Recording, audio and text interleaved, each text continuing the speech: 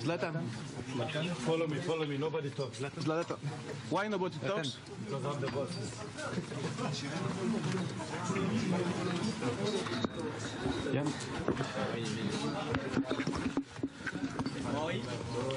Even for low budget TV, you want to speak? Only speak to journalists. Yeah.